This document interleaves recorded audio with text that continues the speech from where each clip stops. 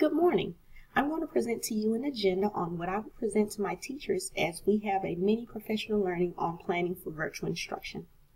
I will first begin with a virtual classroom informative session on um, creating virtual classrooms. I will also show them my very own personal virtual classrooms.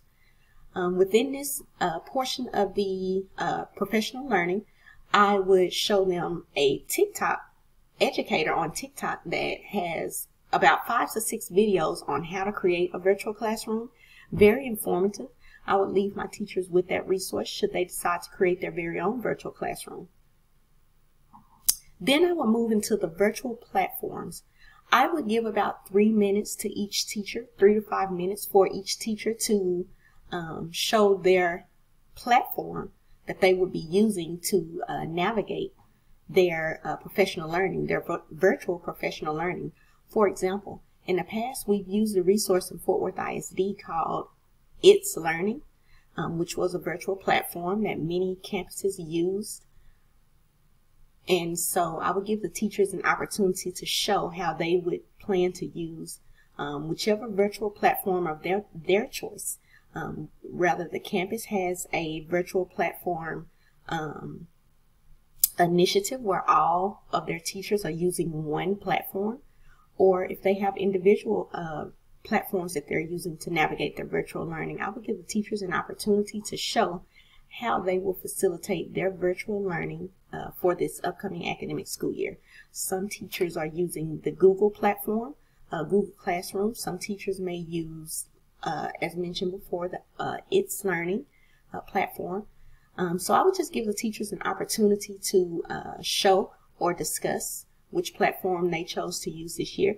And if they have uh, any um, of their platform ready to show, I would give them an opportunity to show their uh, neighboring teachers.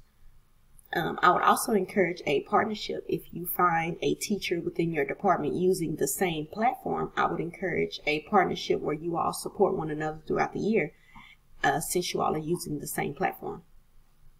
I would also take a mini, uh, since we do have five uh, teachers, um, three of which were, um, yes, three of which were experienced and two we have very new teachers. So I would have a brief moment where I show them um, how to access the curriculum and uh, make sure that they all had access to the curriculum, make sure they all had uh, logins to the curriculum framework.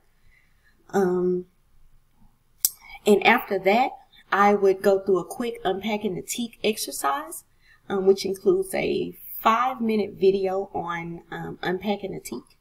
I would then have us do an activity on unpacking the TEKS. and then I would have them um, identify learn their learning targets and present them in a um,